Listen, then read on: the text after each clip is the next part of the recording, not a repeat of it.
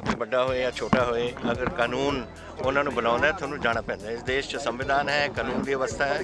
ਔਰ ਅਗਰ ਮੈਂ ਕੱਲ ਗਿਆ ਸੀ ਕੋਰਟ ਤਾਂ ਅਗਰ ਬਾਬਾ ਜੀ ਨੂੰ ਕੋਰਟ ਨੇ ਸੱਦਿਆ ਤਾਂ ਸ਼ੁੱਡ ਗੋ ਉਹਨਾਂ ਨੂੰ ਜਾਣਾ ਸਮਰਥਕਾਂ ਨੂੰ ਬੁਲਾ ਕੇ ਇੱਥੇ ਪ੍ਰੈਸ਼ਰ ਬਣਾ ਰਹੀਆਂ ਲੱਖਾਂ ਸਮਰਥਕ ਸਾਰਾ ਪੰਚ ਦੋ ਦੋ ਮੇਰਾ ਸਟੇਟਾਂ ਨੂੰ ਖਿਆਲ ਇਹਨਾਂ ਸਾਡਾ ਕਾਨੂੰਨ ਪ੍ਰੈਸ਼ਰ ਹੇਠ ਨਹੀਂ ਆਏਗਾ। ਹਾਂਜੀ ਹਾਂਜੀ। ਆਈ ਡੋਂਟ ਥਿੰਕ ਐਸੀ ਕੋਈ ਗੱਲ ਹੈ।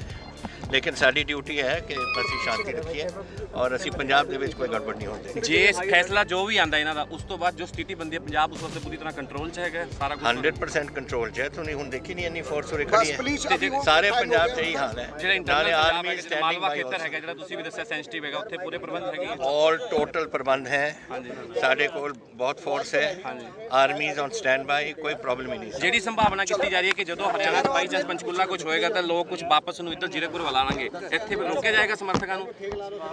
ਨਹੀਂ ਹੁਣ ਕੋਈ ਕੋਈ ਅਗਰ ਅਗਰ ਕੋਈ ਕਾਨੂੰਨੀ ਵਸਤ ਤੋੜ ਰਹੇ ਹੈ ਉਹਨਾਂ ਵਾਸਤੇ ਨਹੀਂ। ਅਗਰ ਕੋਈ ਸ਼ਾਂਤੀਪੂਰਵਕ ਕੋਈ ਜਾਣਾ ਚਾਹੁੰਦਾ ਹੈ ਕੋਈ ਕਿਸੇ ਨੂੰ ਰੁਕਾਵਟ ਨਹੀਂ।